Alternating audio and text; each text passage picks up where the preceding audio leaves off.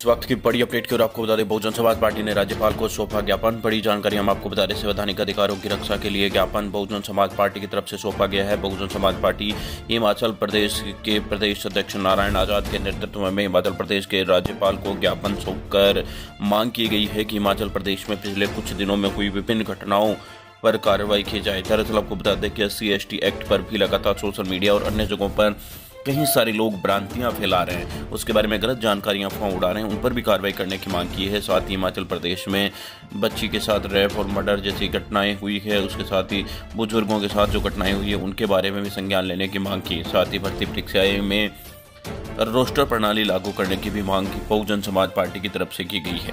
Bahujan Samaj party के प्रदेश अध्यक्ष के नेतृत्व में आपको बता दें कि बहुजन समाज अनुसूचित जाति, जनजाति के संवैधानिक अधिकारों की रक्षा करने के लिए ज्ञापन सौंपा गया। बहुजन समाज पार्टी के प्रदेश अध्यक्ष नारायण आज़ाद ने ज्ञापन में लिखा है कि बहुजन समाज पार्टी के नेतृत्व में इन तमाम समस्याओं का हल राज्यपाल सरकार से करवाएँ।